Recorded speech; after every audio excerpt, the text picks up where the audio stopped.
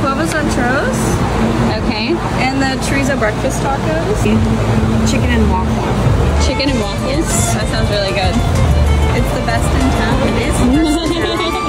That's awesome. And the chicken and biscuits with gravy and bacon bits. Wow.